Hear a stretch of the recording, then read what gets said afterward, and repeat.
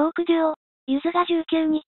都内でニューアルバム、新世界の発売記念トークイベントを行い、メンバーの北川友人、37が、新米パパの喜びを語った。妻で元フジテレビアナウンサーの、高島彩、34が、今月17日に長女を出産したばかり。司会者から父親となった感想を求められた北川は、とっても嬉しい気持ちです。あまりにも、新世界にぴったりなタイミングで、自分でもびっくりしてます。と、新しい世界に生を受けたばかりの、高校娘の誕生を、喜んだ。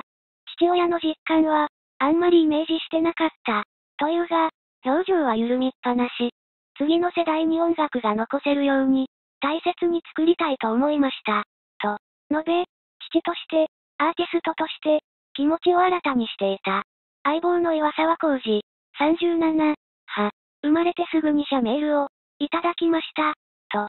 北川のはしゃぎっぷりを暴露。北川が、ジョン、レノンに憧れてるので、育児のために、5年間休む、とか言い出さなくて、よかったです、と、休養危機を回避できたことを喜んでいた。フォークデュオ、ゆずが19日、